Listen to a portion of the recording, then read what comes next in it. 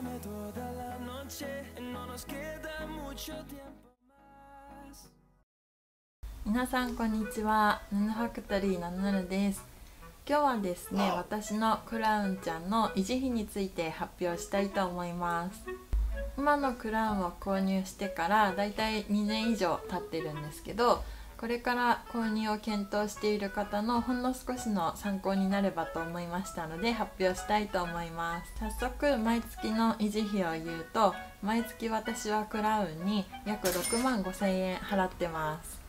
内訳としては車両代が4万円で任意保険代が1万2000円。駐車場代が7000円とガソリン代が5000円になります。それぞれ内訳を話していきます。まず車両代なんですけど私のクラウンは年式が2013年のもので2018年に5年落ちの中古で買いました。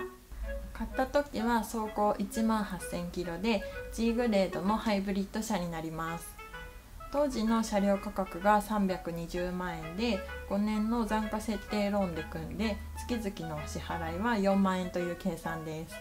今だとキントとかカーシェアも充実してると思うんですけど当時は中古で買う場合はローンを組むかディーラーの残価設定ローンを組むかって感じだったのでいろいろ考えた結果ディーラーの中古車を残価設定で買いました。私が買う時に決めたポイントだったり理由はまた後ほど説明していきたいと思います。次に任意保険料なんですけどこれは等級とか保険会社にも寄ってくるのであくまで参考程度にしかならないと思います。私の場合は車両保険をつけていて週末しか乗らないので若干割引されています。でクラウンの前は実家の車とかを乗っていたので東京も真ん中くらいです。で今だとキントの方が若い人は任意保険をかけるよりも安く買えますので免許取り立ての人とかはキントの方がいいと思います。駐車場代も住んでる地域によって全然違いますよね。私も月決めで借りて契約してます。実家の駐車場を使える人はここは浮かせられますし都内だと駐車場を借りるだけでだいたい月23万くらいしてしまうので住んでる地域の相場次第ですよね。ガソリン代5000円は私の場合月平均で700キロくらいしか走らないんですよね。本当はもっと乗ってあげたいんですけど平均燃費がリッター約17キロくらいで700キロだと約40リットル。私のクラウンは油脂もレギュラー指定なので5000円前後という計算になります。もちろんグレードによっては廃浴車もあるのでこれも前後するかなと思います。毎月かかるお金がおよそ6万5千円ぐらいなんですけど洗車場を使う時は洗車のお金だったりとか洗車道具を買ったりあとカー用品を買ったりするともっとお金がかかりますよね。私自身2年前に買った時より週末ドライバーになりつつあってお金だけ見たら6万5千円は決して安くないんですけどそれよりクラウンに乗っててよかったなと思えることがたくさんあるのでお金以上に満足している部分は大きいです。ただちょっと反省しているのは月間の走行距離が少ないのでガソリン車で選んでもよかったかなと思います。でその他の細かな数字とかはテロップで出しておきますので参考になればと思います。お金をお入れください。あと私と同じ前期モデルとかは今結構安くなってます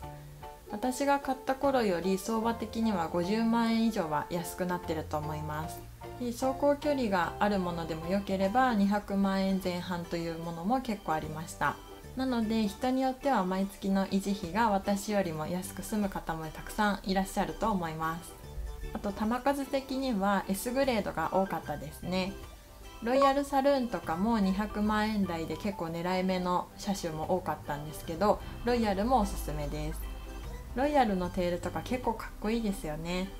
私がクラウンを買った時に気をつけてたことは3つあって1つがワンオーナーであること。で2つ目が修復歴がない車であること。で3つ目が必ず自分の目で見て試乗して一旦考えてから買うことにしてました。クラウンを新車で買う人は大事に乗る人が多い傾向にあるのでワンオーナーはおすすめですし修復歴がなくて記録簿とかもちゃんと残ってるのは絶対条件でした。必ず自分の目で車の状態を確かめたかったのでオークションとかで落として買うっていう方法は取りませんでした。他にもこだわりはまあまあありましたし中古車屋さんとかディーラーもいろいろ回ったんですけどクラウン欲しいなと思ってから実際に買うまでにだいたい1年くらいかかりました。今はお金もかかりますしローンもまだ払いますけど本当に買ってよかったなと思ってます。はいというわけで今回はクラウンの維持費についてお話ししていきました。これからクラウンを買おうかどうか検討している方の参考になれば嬉しいです。こんな感じで布ファクトリーでは愛車クラウンの動画だったりプチカスタムあと洗車とか車中泊仕事も役員運転手をやってますのでカーライフに関する動画をバンバン上げていってます。今は自粛期間でやれてないんですけどお出かけ動画とかドライブも計画中です。いつもいいねとコメント本当にありがとうございます。車好きの方は通知ボタンと一緒にぜひチャンネル登録もよろしくお願いします。それでは今日はこの辺でぬるでした。バイバーイ。